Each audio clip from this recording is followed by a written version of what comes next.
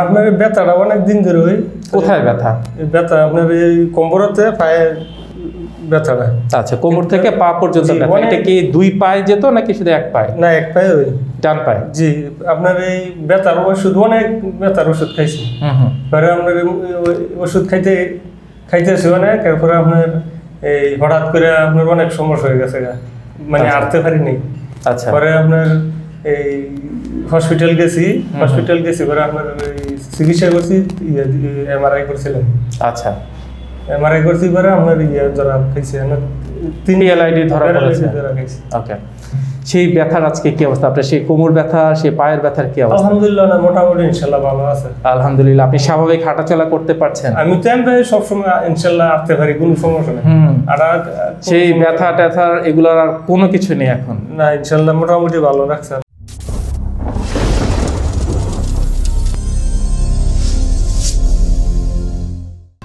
আসসালামু আলাইকুম। দর্শক, কেমন আছেন আপনারা? আশা করি সবাই ভালো আছেন এবং সুস্থ আছেন।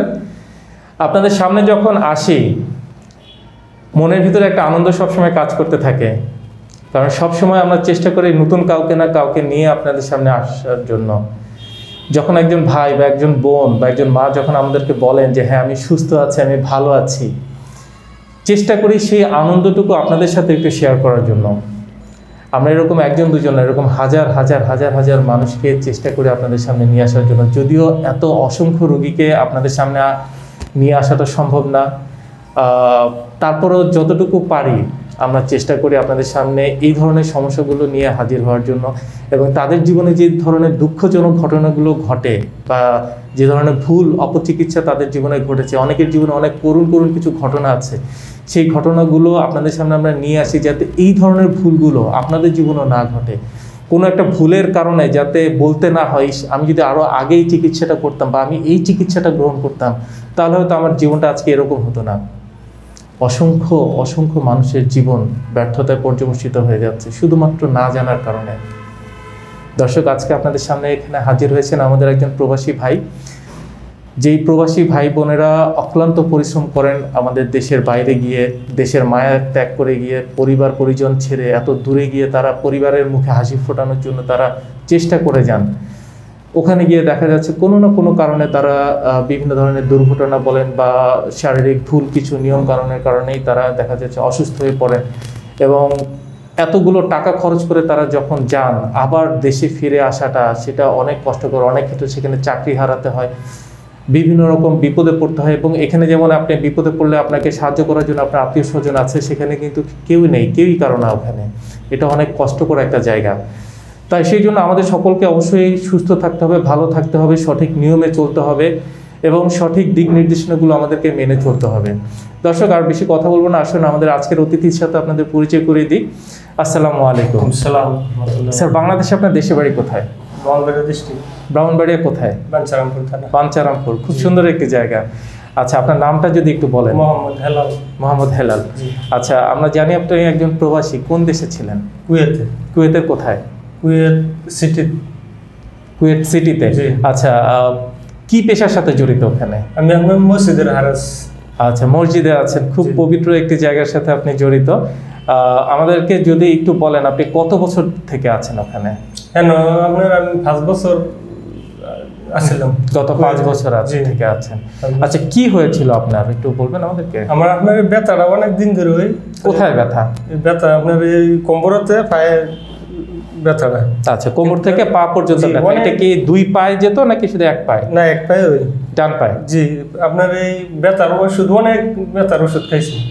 পরে আপনার ওষুধ খাইতে খাইতেছি অনেক এরপরে আপনার এই হঠাৎ করে আপনার অনেক সমস্যা হয়ে গেছে মানে আচ্ছা। আটতে পারিনি। আচ্ছা। পরে আপনার এই হসপিটাল গেছি হসপিটাল গেছি পরে আপনার চিকিৎসা করছি এমআরআই করছিলাম আচ্ছা। এমআরআই করছি পরে আপনার ইয়ে ধরা খাইছি আপনার তিন ধরা পড়েছে। ওকে আচ্ছা একটু পিছনের দিকে যাই। যখন প্রথম ব্যথা শুরু হয় তার আগে কি কোনো অ্যাক্সিডেন্ট বা কোনো কিছু মনে পড়ে এরকম কোনো কিছু না জি না? অ্যাক্সিডেন্ট করি নাই কিন্তু আমি আপনার খেলাধুলা করতাম আগে। আচ্ছা বাংলাদেশে থাকার সময়? জি বিয়ের আগে খেলাধুলা করতাম। মানে স্পোর্টসের সাথে জড়িত ছিলেন তখন? কুস্তি খেলা খেলতাম। আচ্ছা আচ্ছা। ওকে তো সেখানে কিছু কিছু ক্ষেত্রে হয়তো ইনজোর্ড হইতেন ব্যথা পেতেন আবার সেটা অনেক ব্যথা পাওয়া যেত। ইয়ে খেলা তো অনেক ব্যথা পাওয়া যেত।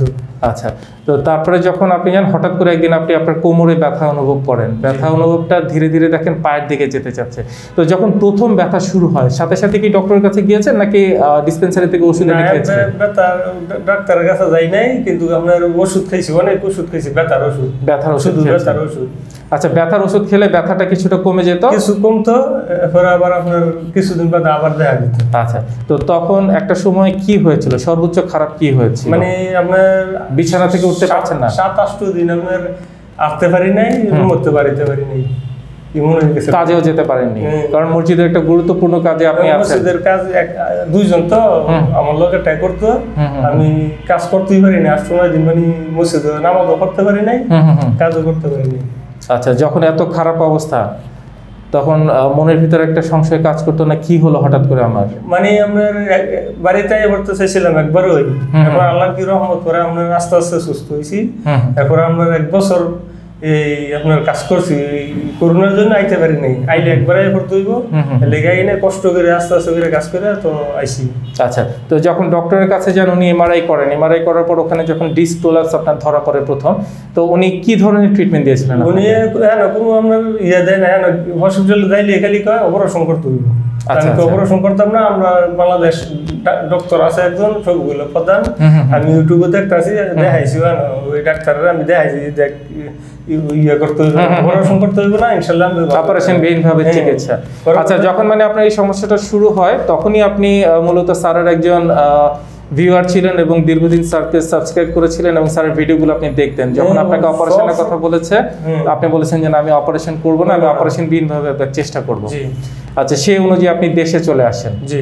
আচ্ছা দেশে আসার পর কি সরাসরি স্যারের কাছে চলে আসেন? সরাসরি না আপনার শরীরে কিছু স্বাস্থ্যটা ভালো ছিল না আপনার জ্বর আসছিল তখন আপনার জ্বর হইলে না। এদিকে আইনি দশ বারো দিন বাড়িতে আসছিলাম আচ্ছা থেকে এরপর- তারপর চলে আসেন। এরপরে স্যারের কাছে আইসি আইয়া স্যারের কাছে ভর্তি হইবে লেগে আমি কই স্যার আমি কিছুদিন পরে পরে আইছি এসে ভর্তি হয়ে যান স্যার ছয় সাত দিন বাদে আইসি আচ্ছা স্যারের কাছে যখন ভর্তি হয়ে যান ট্রিটমেন্ট শুরু হয়ে যায় ট্রিটমেন্ট সম্পর্কে যদি আমাদেরকে একটু বলেন যে কেমন ট্রিটমেন্ট বা কতবার করে ট্রিটমেন্ট দিচ্ছে? আপনার অনেক ভালো।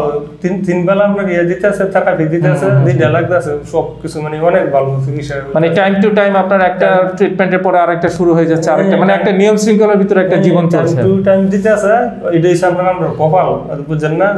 ভালো করার মালিক আল্লাহ। আলহামদুলিল্লাহ। আচ্ছা তো প্রথম যখন স্যারের কাছে আসেন স্যার আপনাকে দেখেন। দেখার পর কি বলেছিলেন? আপনার রিপোর্ট দেখে যে ইনশাল্লাহ সুস্থ হয়ে যাবেন স্যার কইছে অপারেশন লাগতো না এটা। ইনশাল্লাহ আমরা পনেরো দিন ভর্তি থাকেন। আমি কইছি স্যার পনেরো দিন দেন না আমার দশ দিন দেন। কত ঠিক আছে আর দশ দিন ভর্তি। আলহামদুলিল্লাহ যখন প্রথম শুনতে পেয়েছেন যে না অপারেশন লাগবে না লাগবে অনেক শোনার খুশি পর কেমন লাগছে। অনেক খুশি লাগছে। আমরা আমি অনেক ইয়ে ছিলাম। না জানি দুশ্চিন্তায় ছিলেন। তো স্যার আচ্ছা। যে অপারেশন লাগে আমরা অনেক খুশি হয়েছে। মানে আলহামদুলিল্লাহ। অর্ধেক পাতলাই গেছে গেল আমি তো যাক আলহামদুলিল্লাহ। মানে মনের দিক দিয়ে অনেকটুকু আপনি ফ্রি হয়ে গেছেন। আমরা জানি যে আমরা জানি আজকে দশমতম দিন এবং আজকে আপনি চলে যাচ্ছেন রিলিজ নিয়ে চলে যাচ্ছেন। তো এই আজকে আপনার দশ দিন আগে সে আপনি যে ব্যথার কারণে আপনি আহ, আপনার অফিসে যেতে পারেননি কাজে যেতে পারেননি সেই সুদূর প্রবাস থেকে চলে এসেছেন। এবং একটা সময় আপনি চাকরি ছেড়েও চলে আসতে চেয়েছেন যে পার্মানেন্ট চলে আসবেন এই হ্যাঁ, ব্যথার জন্য মুক্তি পাবেন না। সেই ব্যথার আজকে কি অবস্থা? আপনার সেই কোমর ব্যথা সেই পায়ের ব্যথার কি অবস্থা? আলহামদুলিল্লাহ না মোটামুটি ইনশাল্লাহ ভালো আছে। আলহামদুলিল্লাহ আপনি স্বাভাবিক হাঁটাচলা করতে পারছেন? আমি তো এমনি সবসময় ইনশাল্লাহ আসতে পারি কোনো সমস্যা নেই। আর সেই ব্যথা ট্যাথা এগুলোর আর কোনো কিছু নেই এখন? না ইনশাল্লাহ মোটামুটি ভালো রাখছে তাহলে আপনার কি মনে হচ্ছে যে এই যে এত কষ্ট করে এই সুদূর প্রবাস থেকে অপারেশন না করে সরাসরি চলে আসছেন সেই আশাটা কি সঠিক ছিল? সিদ্ধান্তটা সঠিক ছিল? আমি তো আপনার নিজে আইসি চিকিৎসার জন্য আমি অনেক বাইরে বলব ইনশাল্লাহ যদি ডিপিএসসি হসপিটাল আই ইনশাল্লাহ অপারেশন বাদ দেয় ইনশাল্লাহ ভালো হইব ইনশাল্লাহ আশা আছে। দেখতেছি অনেক মানুষ ভালো হইতেছে। আপনার আশপাশে যারা আছেন তারা অনেক সুস্থ হয়ে যাচ্ছে। হুম অনেক মানুষ ইনশাল্লাহ। অপারেশন লাগে না অপারেশন দেয় ইনশাল্লাহ। আল্লাহ রহমত করে। আলহামদুলিল্লাহ। দর্শক আজকে আমার এই ভাই একজন দুজন না কিন্তু হাজার হাজার আমার এরকম ভাই বোন। এই যে অপারেশন বিহীন যে চিকিৎসার কথা বলছেন ডক্টর মোহাম্মদ শফিউল্লাহ প্রধান দেখুন, আকাশে যখন সূর্য উঠে, তখন কিন্তু বলে দিতে হয় না যে সূর্য উঠেছে। আমরা কিন্তু এমনি বুঝতে পারি যে আসলে সূর্য উঠেছে। ঠিক তেমনি সত্য বা সঠিক চিকিৎসা বলতে হয় না মানুষকে, মানুষ এমনি জেনে যায়। দেখুন, অপারেশনবিহীনভাবে এই খবর যেমন হাজার হাজার মানুষ জানেন, তেমনি অনেক মানুষ আছেন, তারা এখনও জানেন না। আমাদের দেশ না শুধু আমেরিকার আপনার গবেষণায় কিন্তু জানা যায় যে এরকম অসংখ্য অপারেশন হয় তাদের। যে অপারেশনগুলো প্রয়োজনীয় হয় না, এটা তাদের রিপোর্ট।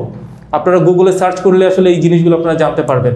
এরকম অসংখ্য অসংখ্য স্ট্যাটিস্টিক্স আছে যে বিনা অপারেশনে হাজার হাজার রুগী ভালো হচ্ছেন। এমন অনেক অপারেশন আছে যেগুলোর কোনো দরকারই নেই, অথচ সেই অপারেশনগুলো করা হয়েছে। একটা অপারেশন আমাদের আসলে কারোই কাম্য না। অপারেশন অবশ্যই জরুরি একটা জিনিস, অবশ্যই দরকার। যদি আপনার প্রয়োজন হয়, আমরা অবশ্যই অপারেশন করব। কিন্তু যদি আমি অপারেশন ছাড়া একটা রুগীকে ভালো করতে পারি অপারেশন ছাড়া যদি আমি ভালো হতে পারি, আমি কেন সেই সুযোগটা নিব না? আপনাদের ভিতরে যারা এই ধরনের সমস্যাটায় আছেন, যারা এই ধরনের সমস্যায় দীর্ঘদিন যাবৎ ভুগছেন, যাদের অপারেশন করার দরকার আপনারা মনে করছেন ডক্টর বলেছে অপারেশন করতে হবে। আমাদের রিকোয়েস্ট আপনারা একবার হলেও ডক্টর মোহাম্মদ শফিউল্লাহ প্রধান ওনার কাছে আসেন। ওনার সাথে একবার দেখা করেন, আপনার রিপোর্টগুলো একবার দেখান। আমার মনে হয় যে আপনারা একটা সঠিক একটা ধারণা পেয়ে যাবেন যে আপনাকে আসলে কি করতে হবে। যদি আমার হাতে একটা সুযোগ থাকে, আমরা কেন সেই সুযোগটা গ্রহণ করব না? এই যে আমাদের এই ভাই যেমন প্রবাসে ছিলেন, খুব ভালো একটি মসজিদের সাথে উনি জড়িত, একটা মহৎ কাজের সাথে। এবং দেখুন যে ওখানে গিয়ে উনি এমনভাবে অসুস্থ হয়ে পড়েন যে উনি ওনার কাজে যেতে পারছিলেন না, প্রায় বিকলাঙ্গ হয়ে গিয়েছিলেন। বাট সেখান থেকে আল্লাহ তাকে রক্ষা করেছেন, উনি ধীরে ধীরে আবার একটু হাঁটতে শিখেছেন এবং এখন উনি চিকিৎসা নিয়েছেন। এবং দেখুন, আজকে উনি সম্পূর্ণ সুস্থ আছেন, ভালো আছেন, স্বাভাবিক আছেন এবং উনি আবারও ফিরে যাবেন ওনার কাজে। যেখানে উনি একটা সময় চিন্তা করেছিলেন যে, আমি কাজ করব না, প্রবাস থেকে আমি চলে আসব। কিন্তু এখন ওনার নিজের ভিতরে কনফিডেন্স আছে যে হ্যাঁ না, আমি কাজ করতে পারব, আমি দেশের জন্য কিছু করতে পারব। উনি আবারও যাবেন সেই স্বাভাবিক জীবনে। এই জায়গায় আপনি কেন থাকবেন না? একবার আপনার নিজেকে প্রশ্ন করুন। আমরা সবাই সুস্থ থাকতে চাই, ভালো থাকতে চাই। আমরা সবাই একসাথে বাঁচবো, ভালো হয়ে বাঁচবো, সুস্থ হয়ে বাঁচবো। ধন্যবাদ আপনাদের সকলকে। আসসালামু আলাইকুম।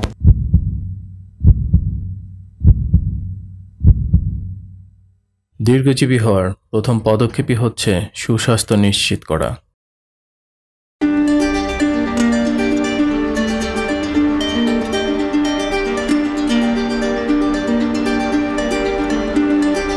দেহ ও মন ভালো থাকলেই ভালো থাকে স্বাস্থ্য।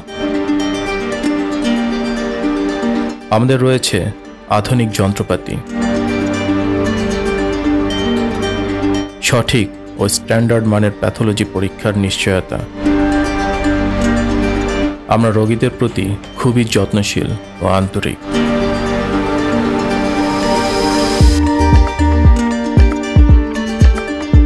আমরা সর্বপ্রথম প্রতিটি রোগীর সঠিক রোগ নির্ণয় করি, এরপর রোগ অনুযায়ী অপারেশনবিহীন চিকিৎসা দিয়ে থাকি।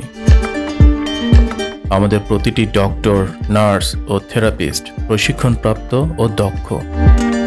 আমরা প্যারালাইসিস রোগীদের নতুন করে চলতে শিখাই।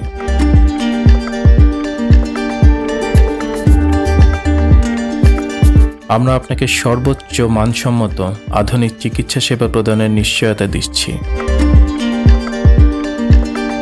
আমরা বিশ্বাস করি আপনি এখানে আপনার নিজ পরিবারের মতোই সেবা পাবেন।